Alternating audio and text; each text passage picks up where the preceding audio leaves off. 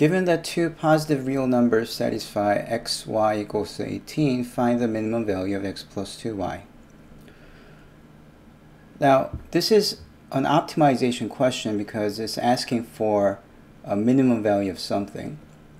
And when you see an optimization question, you should look for an equation that's usually given, and that's called a constraint. And the target function to minimize or maximize, that's called your target. And the way you solve optimization questions is to first solve the constraint for one of the variables. Uh, let's divide both sides by x and get y equals to 18 over x. And then use that to replace the variable that you can to make the target as a function of a single variable. See, if you replace x plus 2, if you replace this y by 18 over x, then it becomes x plus 2 times 18 over x, and that's just a function of a single variable, which is x plus 36 over x. Once you have that, then you can use the concept of critical numbers and first derivative tests to find out the minimum value. So let's do that. f prime of x x differentiates to 1 and 1 over x differentiates to negative 1 over x squared. Right? Uh, 1 over x differentiates to negative 1 over x squared. You can deduce this from the power rule, but it's good to just memorize it as a separate rule because it appears a lot of times. Okay. Now we want to find the critical numbers and uh, we set it equal to 0, you get 1 equals to 36 over x squared. Multiply both sides by x squared. So multiply by x squared, x squared. And that gives you x squared equals to 36. And that gives you x equals to plus or minus 6. Okay, uh, now it says positive real numbers, so negative doesn't doesn't work. So you only get, you only need x equals to positive 6, okay? So if x is 6, we now have to divide the number line uh, starting from 0 to infinity. So 6 is our critical number. Pick a test point before and after. So I'm going to pick 1 and then 10. And you want to evaluate the f prime at these points. So f prime of 1 is 1 minus 36 over 1 squared, which is 1 minus 36, which is negative 35. So it's negative. The value is not important. What's important is that f prime is negative here. Okay, And then f prime of 10 would be 1 minus 36 over 10 squared. That's 100. So it's 1 minus 0 0.36, which is 0 0.64, which is positive. So it's positive here.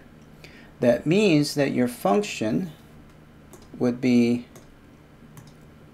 your function would be like the function f, yeah, I don't like that color. The function f would be going down uh, before 6 and then it will go up. It will be decreasing and then increasing, which makes this 6 as x equal to 6 is absolute minimum. Because overall it's decreasing and then increasing again. So this is the lowest point on the graph. And uh, then you always have to read the question again. Sometimes they want the x and y values. Sometimes they want the uh, value of the function itself. And depending on what they ask you have to uh, come up with a different answer. In our case uh, it's asking for the value. So you have to evaluate the function at 6 which is 6 plus 36 over 6 and that's 6 plus 6 which is 12 so the answer would be 12 okay another similar question. Given that x squared plus 4y squared equals to 9 find the maximum value of x plus y. Alright so uh, let's see, you want to solve this for one of the variables. Uh, if you try to solve for y, then you later have to divide by 4 at some point, and it's not so, so pleasant to do. So let's just solve for x squared because that's easier to solve. Okay, uh, I'm doing this because th this is your constraint, and that's your target. Okay, yeah, once you can figure out the constraint and target, it's easy to solve these optimization questions. Of course, there are some word problems that are not so straightforward but a lot of them are easy. Okay, so you solve for x squared, which is uh, 9 minus 4y squared by subtracting 4y squared both sides, and then you take the square root plus or minus square root of 9 minus 4y squared. Now, because we're trying to find the maximum value, we want x and y to be both positive. If x is negative, then it will be less than when, when we can do it using a positive number. So uh, we choose x to be the positive 9 minus 4y squared because we want maximum, okay? And then what do you do? Once you solve the constraint, plug that into your target function and you end up with square root of 9 minus 4y squared plus y as your target function. So that's your function of y. Afterwards, it's just a matter of finding the absolute maximum. So let's differentiate this.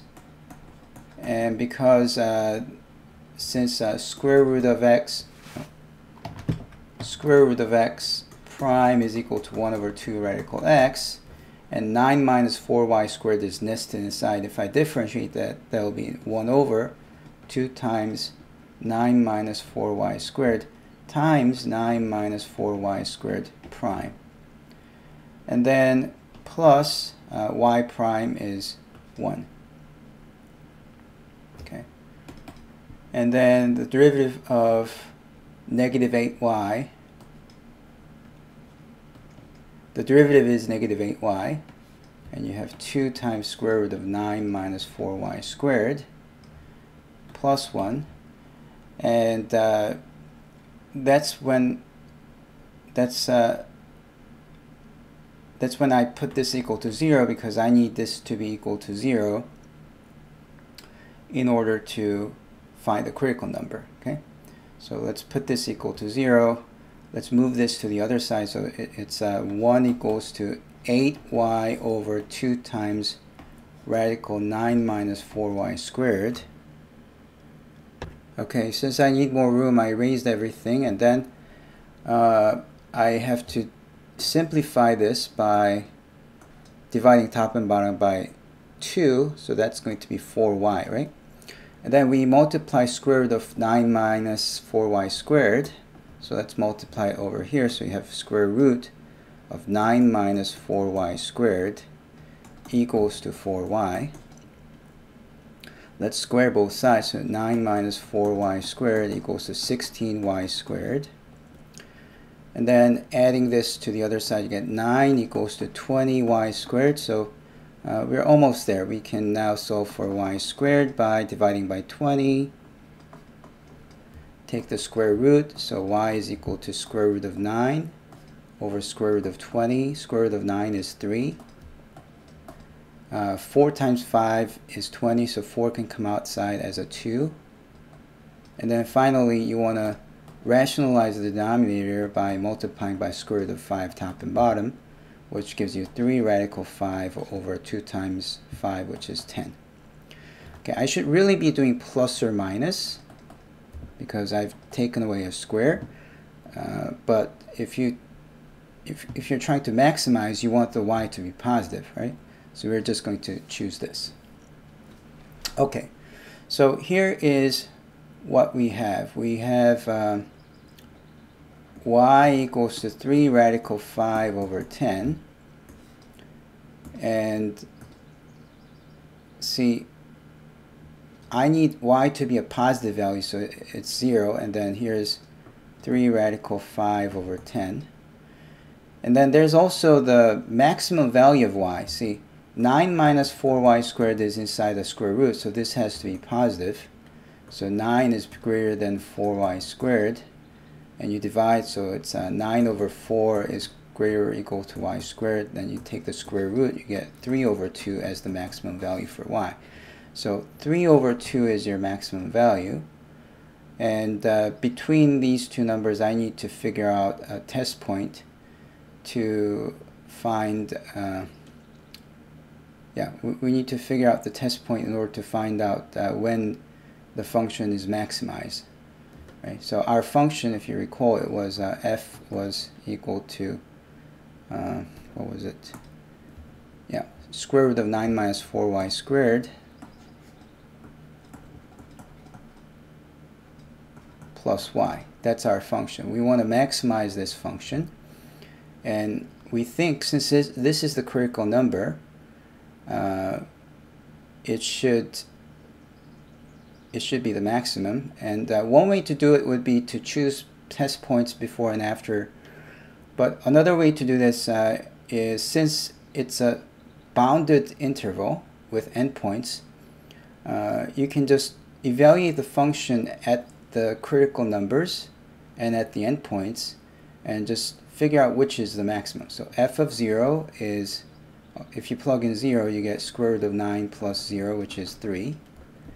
f of 3 over 2, well, uh, we just found out this 3 over 2 value because that, that makes this 0, right? So that's going to be 0 here, whereas y is 3 over 2, so that's 3 over 2. And then finally, uh, f of f of uh, 3 radical 5 over 10, well, if you plug in that, y squared becomes 9 over 20. So it's square root of 9 minus 4 times 9 over 20. And then plus 9 over uh, 3 radical 5 over 10. Okay, and then uh, 9 over 5 it's uh, 4 times 9. Okay, so if you, if you simplify this, first divide by 5, uh, 9 is 45 over 5, right? 45 minus 9 is 36 over 5 square root. And plus, uh, you also have 3 radical 5 over 10 and that's 6 over radical 5 multiply radical 5 top and bottom. Which gives you 5 6 radical 5 over 5 plus 3 radical 5 over 10 and then finally uh, if you make common denominators you can multiply by 2 top and bottom, so it's 12 radical 5 plus 3 radical 5, which gives you 15 radical 5. Okay, so that's that's the maximum value because this is bigger than these other ones, right? Uh, see, radical 5 is about 2.2, so if you multiply 2.2 to 15, that's uh, 30, 33, okay? Uh, and dividing by 10 gives you 3.3. So it's this is bigger than the other ones. So we know that this is the answer.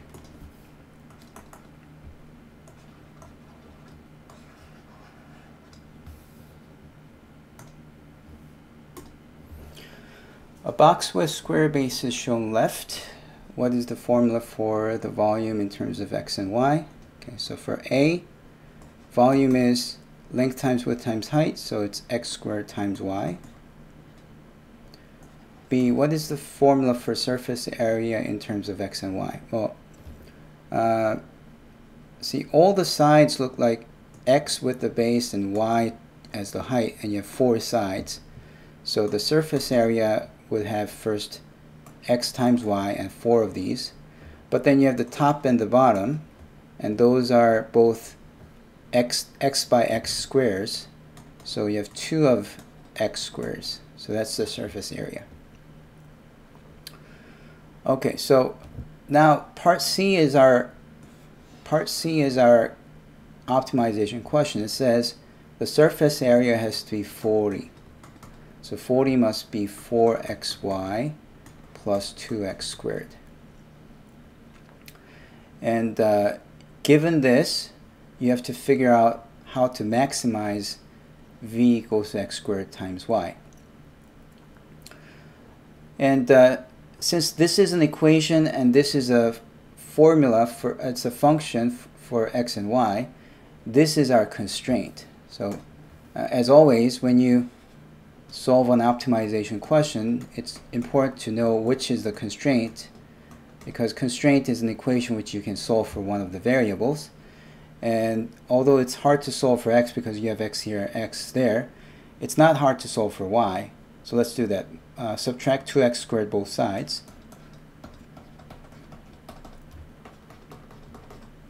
And then divide by 4x, so you get y equals to 40 minus 2x squared over uh, 4x.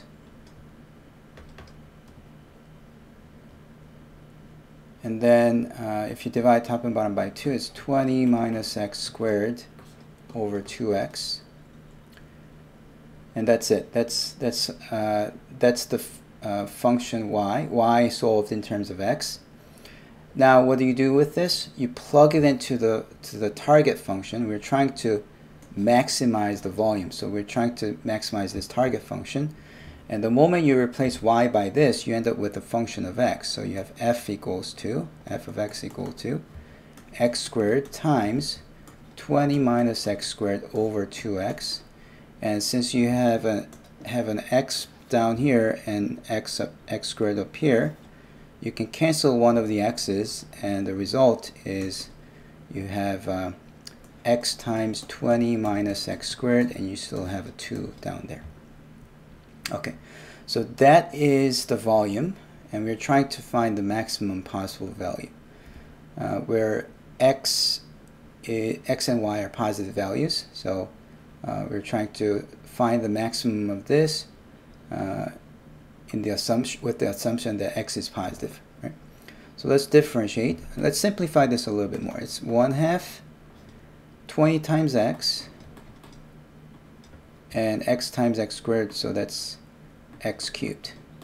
I multiply them out because uh, if, I, if I have to differentiate like this, I have to use the product rule, but if I multiply them out, I don't need the product rule, so it's easier. So I'm going to differentiate now. And that gives you 20 minus 3x squared. Set that equal to 0, so that will give you, um, that will give you Let's use a different color. Uh, 20 minus 3x squared equals to 0, which gives you 20 equals to 3x squared. So x squared is 20 over 3. So that gives you x equals to square root of 20 over square root of 3. And uh, rationalizing the denominator by multiplying radical 3 top and bottom, I get square root of 60 over 3, but uh, 60 is divisible by 4. 4 comes out as 2, so I have 2 radical 15 over 3.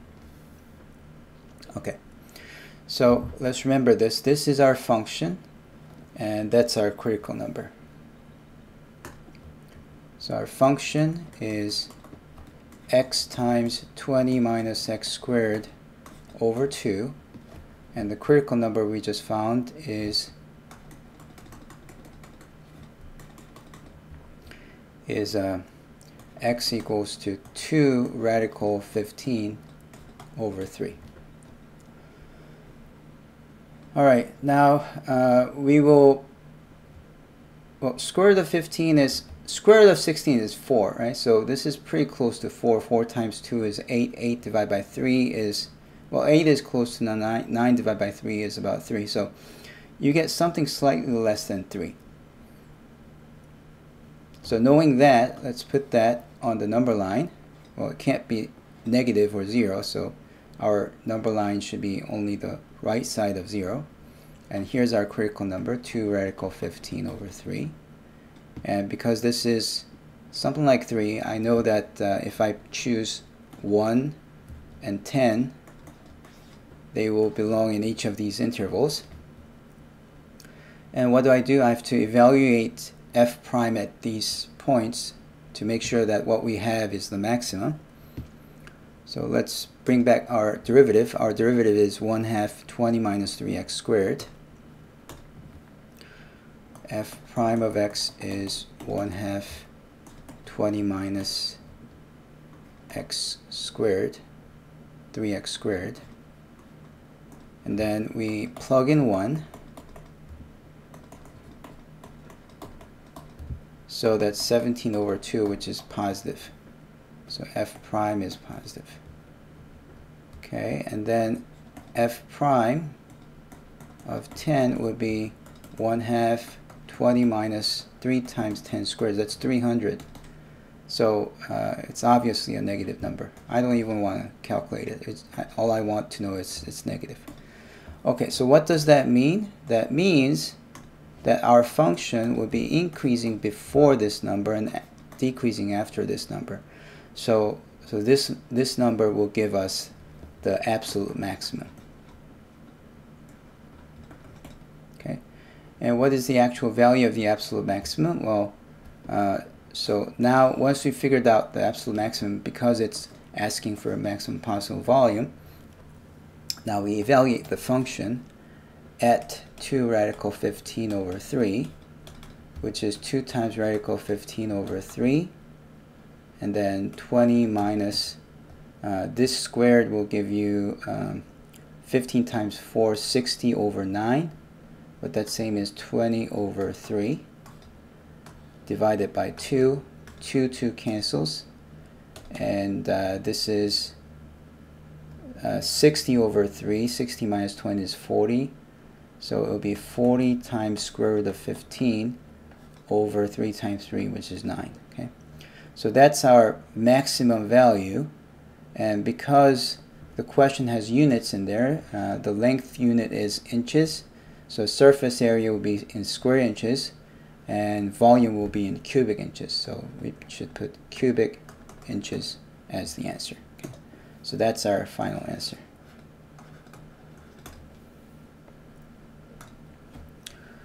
A closed rectangular box with square base Okay, so another box with square base and a volume of 12 cubic feet is to be constructed using two different materials. Okay, the top is to be made of metal costing $3 per square foot and remainder of a wood costing $2 per square foot. Please find the dimensions of the box for which the cost of materials is minimized. Okay, uh, I don't know what this rectangular box is used for. Uh, but uh, it seems like a pretty big one. It's a 12 cubic feet, so it's measured in feet. And uh, we just had a question like that, which is you have a square base. So if this side is x, that's also x, and this side will be y. Now, the volume is computed as x squared times y. And in the previous question, this was our target. But look at this. The volume is given a value. So the volume is x squared times y is equal to 12. So that's going to be our constraint. And then uh, you need the cost of materials to be minimized. So we need the cost function. And that's our target. Now, uh, let's look at the top area. Area of top is x times x, so that's x squared. And then cost of top is like this.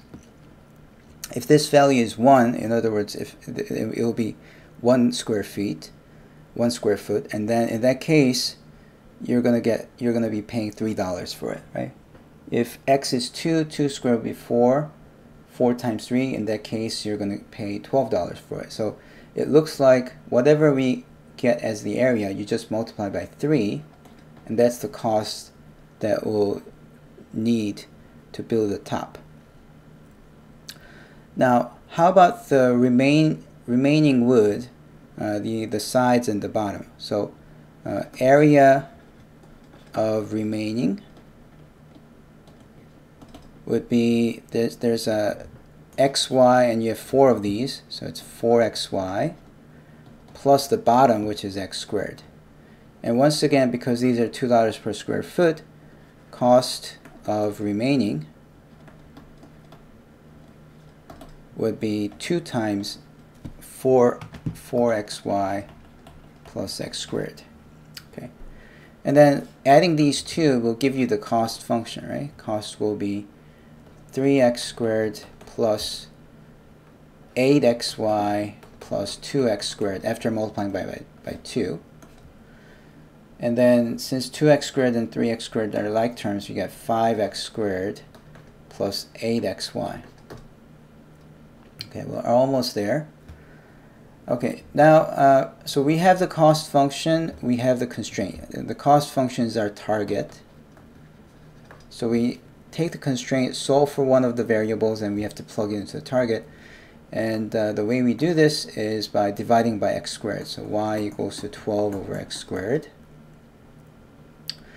And then you replace this y by 12 over x squared. So that's going to give us the function, the target as a function of x which is 5x squared plus uh, 8x times 12 over x squared. 12 times 8 is 96, so it's 5x squared plus 96 over x. Okay, so you have this function to minimize. Let's now try to find the minimum of this function by using calculus. So f of x is equal to 5x squared plus 96 over x. Differentiate. That gives you 10x. And then 1 over x differentiates to negative 1 over x squared. We see this a lot, so you should just memorize it. Uh, so we get uh, 96 over x squared. To get the critical number, you have to set this equal to 0. Uh, move this to the other side, so you get 10x equals to 96 over x squared. Multiply by x squared, so you get 10x cubed equals to 96. Divided by 10, 96 over 10, and well, top and bottom are divisible by 2, so it's 48 over 5. And then you take the cube root of it, and you get x equals the cube root of 48 over 5. Okay, we still have to figure out if this is indeed the, the minimum. I want the minimum of this, right? So we can we can do the following and we can plug in well here's cube root of 48 over 5 well that's bigger than 1 for sure. So I'm gonna choose a 1 here as a test point. And uh, this should this is less than 10 because 10 is a cube root of 1000 this number is definitely less than 1000 so using these let's uh, let's evaluate f prime. f prime of 1 is 10 minus 96 over 1 squared so it's negative. So it's negative here. F prime of 10 is 10 times 10 which is 100 minus 96 over 10 squared which is 100 that's definitely positive. So we see that because this is our, our f prime, the function would be decreasing and then increasing, making this as a true absolute minimum. So we prove that it's going to be absolute minimum. And we still have to be careful here because, see, it's not asking for the minimum cost, it's asking for the dimension of the box where the cost of materials is minimized. So uh, dimension of the box is about x and y, right? So uh, this is one of the sides, and we have to bring back our y. What was our y? Uh, y is 12 over x squared. So, so, we need y to be 12 over x squared. Now, since uh, this is a word problem. Uh, it's a, a actual word problem for a practical purpose. Uh, it's better if you come up with a decimal value because uh, if you're actually asking the workers to make this thing, you don't tell them, I want one side to be cube root of 48 over 5. That doesn't make sense, right? So what we should do is we should use a calculator to evaluate this. So first uh, you do 48 divided by 5. Uh, that's 9.6, right? So I'm going to take the nth root where I take the cube root of 9.6. That's uh, 2.2513. Let's uh, copy that, paste it here. Oh, okay. That's over here. Okay. So that that's our x value. So we have this value here as our x value and everything is in feet so this is 2.1253 feet. And then to get the y value you have to divide that by x squared right? So uh, let's go back to our calculator. Let's take that value and then square that. And then do now 12 divided by this number here. And that gives you 2.6566. So let's copy that also. Paste.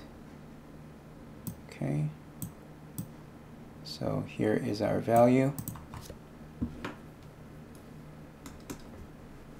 feet.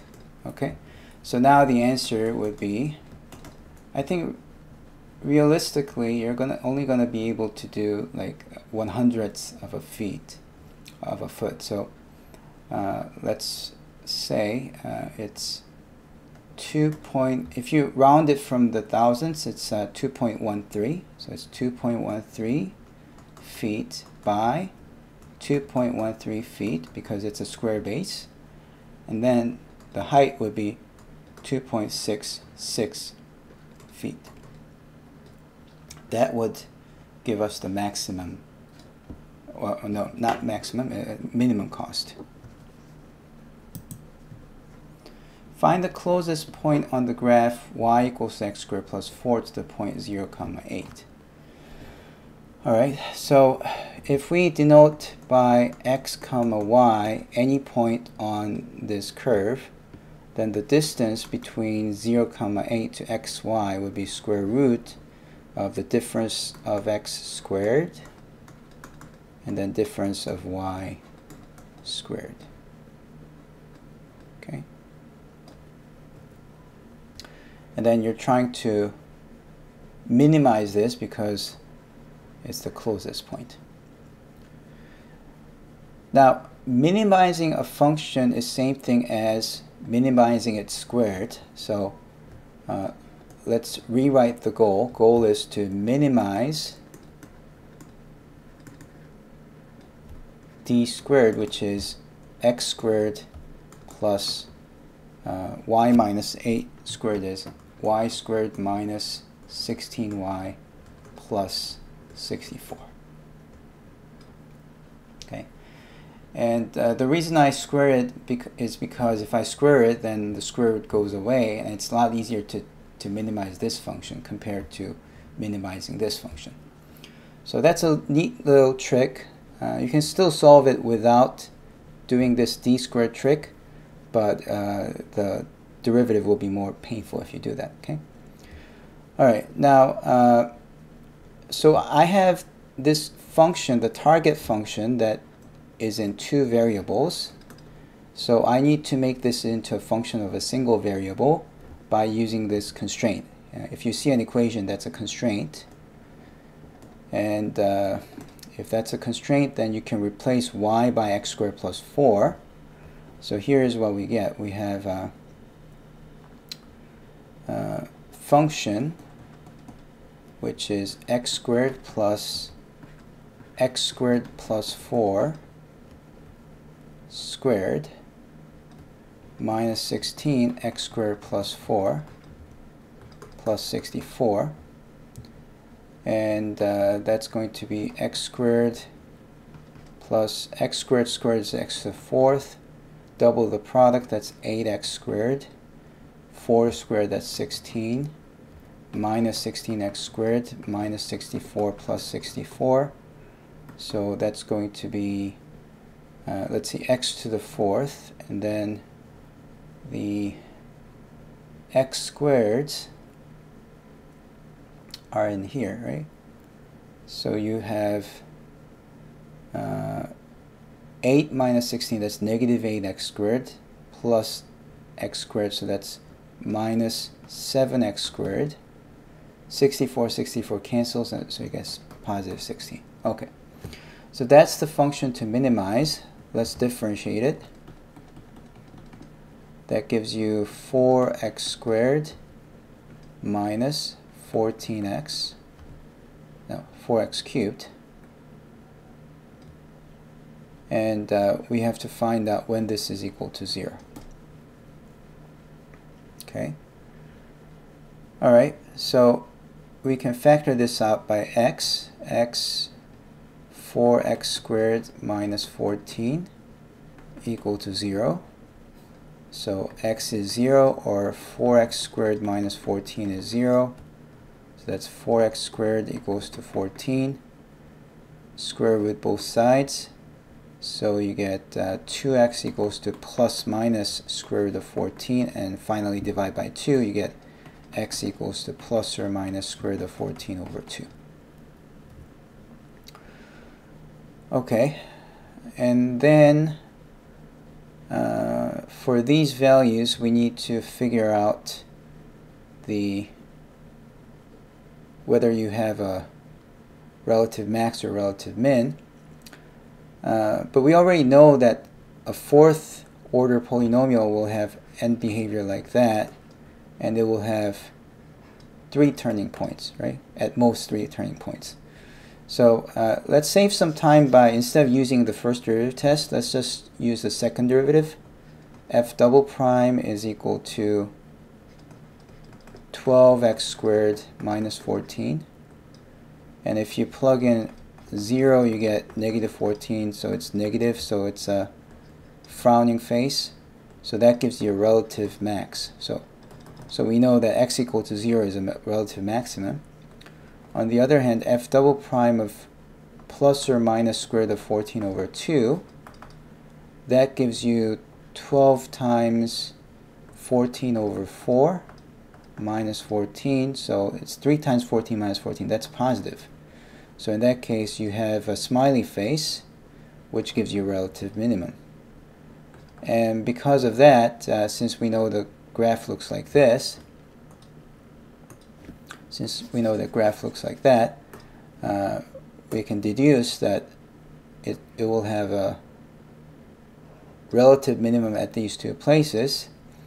And it turns out that because of symmetry, see this is symmetric with respect to the y-axis, right? y equals to x squared plus 4 is a parabola that's like that. And 0, comma 8 is right here. So there will be two points, one on the left and one on the right, that has the same distance. So uh, there are actually two points. Uh, one is the positive one and the other is negative one. Okay, so we're almost there. Uh, we know that the uh, x equals to plus or minus square root of 14 over 2 will give you the closest point. But now we have to find out the y because we need to find the points. Points are x and y coordinates.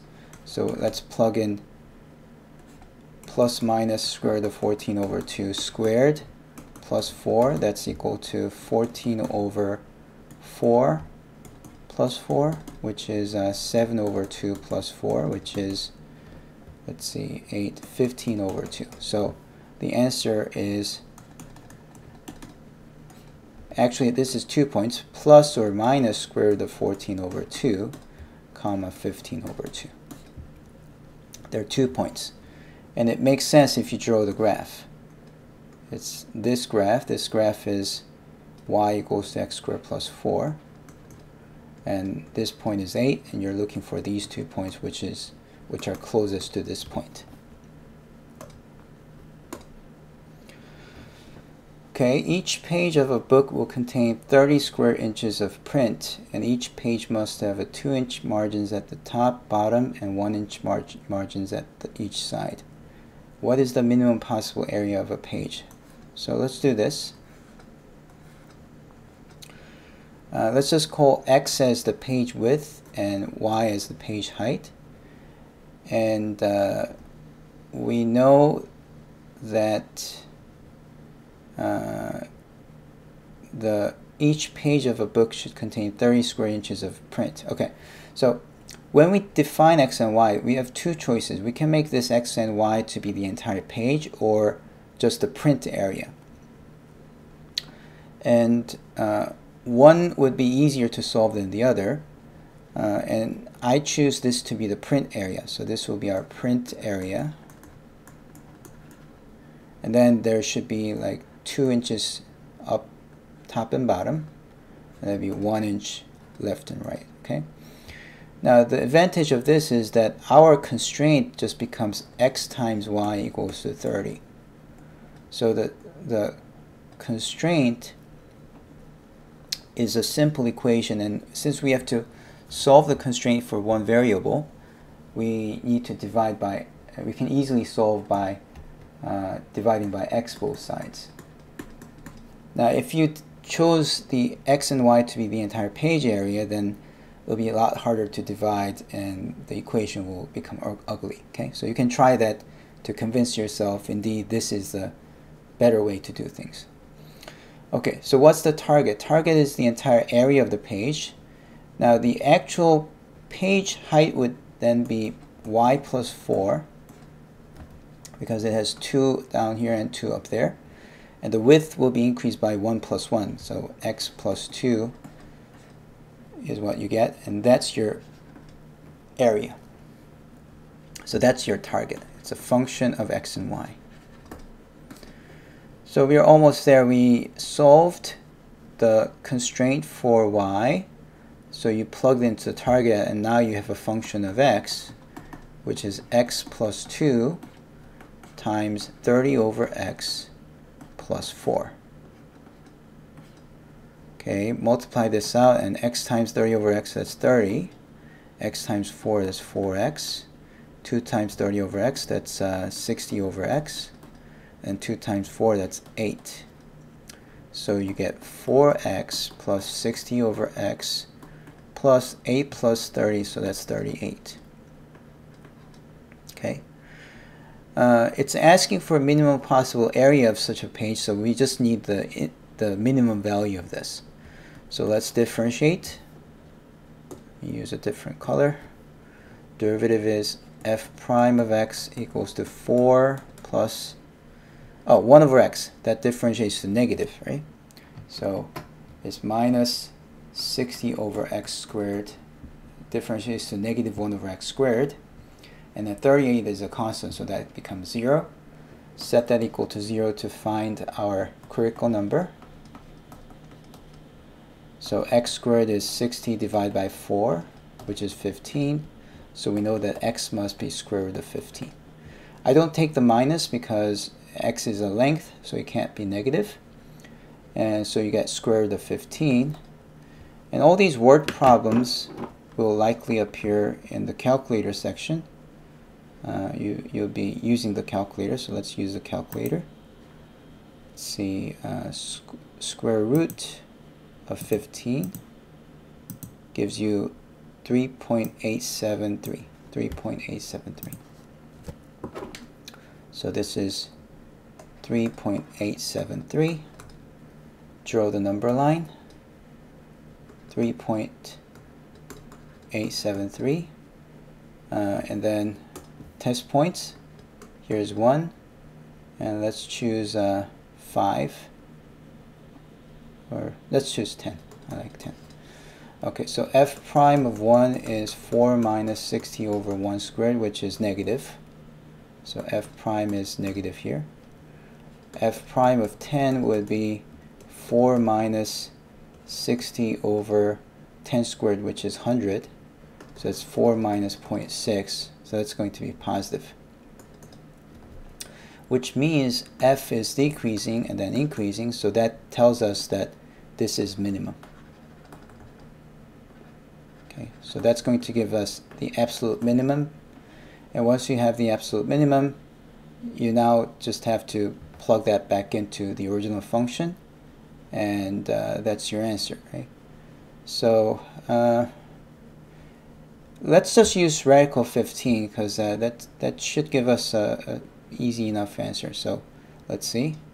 You have uh, f of square root of 15, which is 4 times square root of 15 plus 60 over square root of 15 and then plus 38. Now the reason I like this one is because I know that 60 is 4 times 15. So if I rationalize the denominator by multiplying by square root of 15 top and bottom, this just becomes 15 canceling with the entire 15. So the result is that I have 4 radical 15 plus 4 radical 15, which is 6 times square root of 15, and then add 38. Okay, So that's easier to plug into the calculator. So I need 6 times square root of 15, and then plus 38. And that gives us 61.24. 61.24. So that's 61.24 square inches. Don't forget that unit.